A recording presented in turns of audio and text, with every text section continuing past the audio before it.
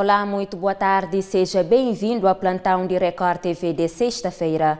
No começa te informa o Ministério de Saúde identifica mais um caso confirmado de Covid-19 ali na cidade de Praia e trata-se de um cidadão cabo-verdiano de 43 anos, residente na bairro de Ponta d'Água. Doente está nesse momento internado na isolamento no Hospital Agostinho Neto e se apresenta um quadro de infecção respiratória moderada. Dados do Ministério de Saúde da Flama País já está com 56 casos positivos de coronavírus, sendo 51 na Ilha de Boa Vista, 1 na São Vicente e 4 ali na praia. No último balanço, a imprensa, diretor nacional de saúde, flama que os 45 casos positivos na Hotel Rio Caramboa estão em isolamento e está a ser monitorizado. E depois de novo prorrogamento de estado de emergência, desvez com diferenciação entre ilhas, a Assembleia Nacional está reúne hoje em sessão plenária para debate e autoriza pedido do Presidente da República Jorge Carlos Fonseca para renovação e prolongamento de estado de emergência nacional.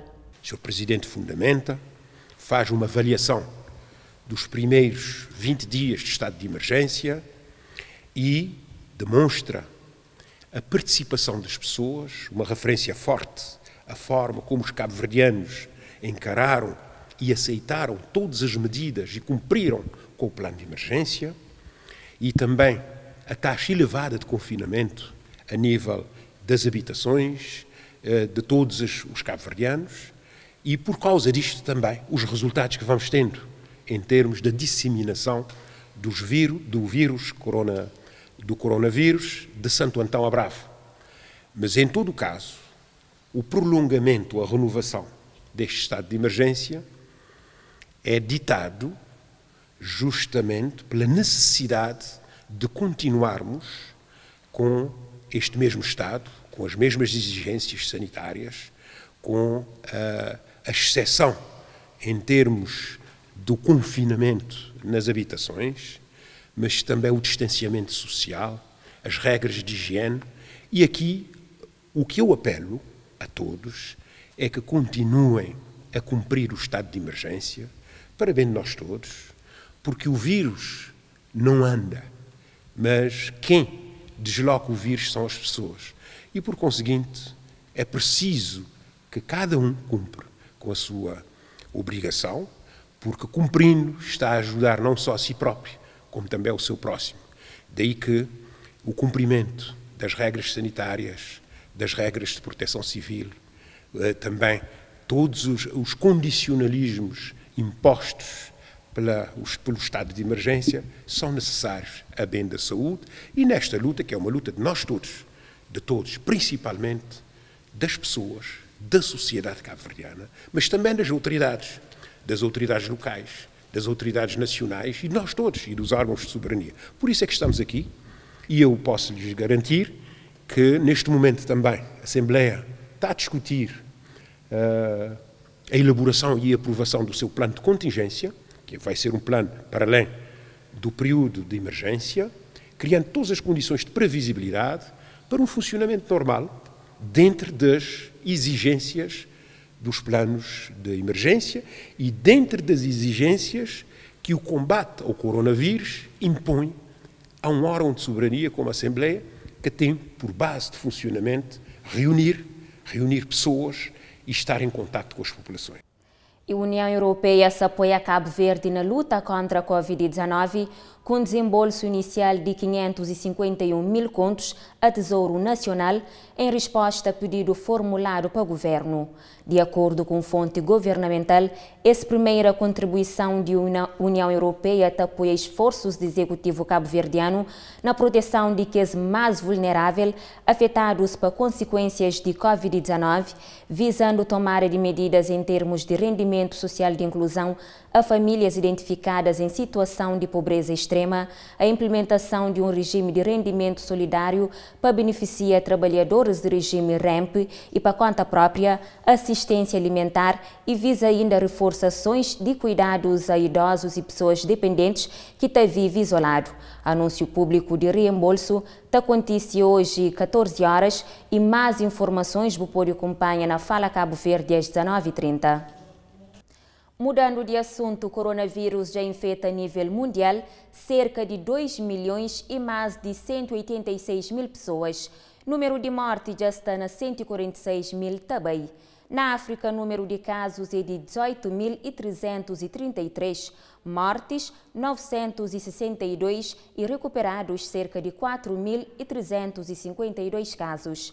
Na Angola, a Comissão Multissetorial de Prevenção e Combate à Covid-19 teve um encontro com a Organização das Nações Unidas.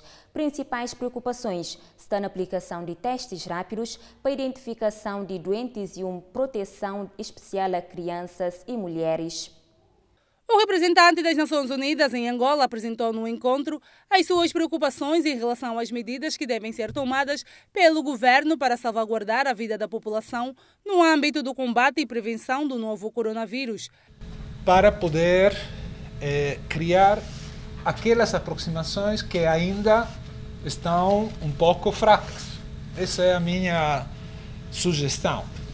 A Comissão Multissectorial garantiu que as preocupações apresentadas pelos membros do Sistema das Nações Unidas foi reforçada também a necessidade do país continuar a contar com o apoio da ONU. Essas questões, sobretudo do âmbito social, ligadas à proteção dos direitos das crianças, é nesse sentido que nós estamos a fazer um grande esforço para recolher as crianças eh, em situação difícil, aglomerá-las num determinado espaço onde elas estão a ter eh, apoio psicológico. A importância de se ter testes rápidos no país também foi tema do encontro. Ainda na Angola, um ato de solidariedade. Igreja Universal de Reino de Deus fazendo doação a um hospital e a unidade foi contemplado com mais de 200 litros de álcool gel numa ação de contenção e prevenção contra coronavírus. Pacientes na luta contra as doenças recorrentes e atentos ao coronavírus Profissionais preocupados em dar todo o atendimento necessário. O país não tem medido esforços quanto ao combate e prevenção à Covid-19, mas a direção do Hospital Municipal de Talatona reconhece a carência nos produtos apontados como essenciais. Bem, em termos de material de biossegurança, temos uma carência que é comum, acredito que em todas as unidades. Sabemos que o mercado sofreu uma procura muito grande e há quase que escassez desses produtos, não só a nível nacional como internacional. Então nós também estamos a viver realmente esta carência, esse aperto em termos de materiais de biossegurança. A solidariedade traduz as ações da Igreja Universal do Reino de Deus em Angola. Desde que os primeiros casos de coronavírus foram confirmados no país, a Igreja não tem se mostrado indiferente à causa. Hoje esteve em mais um dia de doação ajudando o hospital, nós eh, estamos a ajudar a nós mesmos, porque nós mesmos poderemos ser, poderemos necessitar dos serviços do hospital. Hum. Depois da administração municipal de Viana, agora a doação é numa unidade de saúde. Aqui no Hospital Municipal de Talatuna. São mais de 200 litros de álcool gel. As doações continuam. Amanhã, por exemplo, o distrito do Rangel será beneficiado com bens alimentares. Agradecer aqui o gesto da Igreja Universal de fazermos essa doação do álcool gel que vai facilitar e melhorar a higienização das nossas mãos. A orientação do Ministério da Saúde quanto à pandemia é que as pessoas evitem a ida aos hospitais sem necessidade, porque o lugar é considerado de alto risco. Nesta senda, a ajuda vem no momento certo. Agora vão poder fazer a devida higienização sempre que necessário. Enquanto uh, houver o Covid-19 em Angola, nós vamos lutar juntos com o governo para podermos vencer esta batalha. O hospital tem atendido cerca de 300 pacientes por dia durante esse período de combate ao coronavírus. Pacientes esses que mostraram-se felizes com as doações. Bem que essa doação para mim é muito importante, muito bom. Porque muita gente está necessitada que nem, nem tem possibilidade para comprar. Uhum. Então se a Igreja Universal se disponibilizou em ajudar o povo, eu digo que fez uma grande coisa e agradecemos por esse gesto. Um ato de solidariedade de igreja não só na Angola, mas também em outros pontos do mundo nesse tempo de pandemia de Covid-19. Por exemplo, ali, Igreja Universal promove também um ato de solidariedade no Hospital Agostinho Neto através de doação de sangue. Afinal, é um ato de amor e que está salva vidas. Igreja pretendendo oferecer toneladas de alimentos e kits de higiene para 300 famílias. Essa reportagem vou pôr acompanhar às 9h30 na Fala Cabo Verde. E foi assim nosso plantão de sexta-feira, 17 de abril. Nós não só fazemos parte, fazer de boa, fica na casa com o Record TV.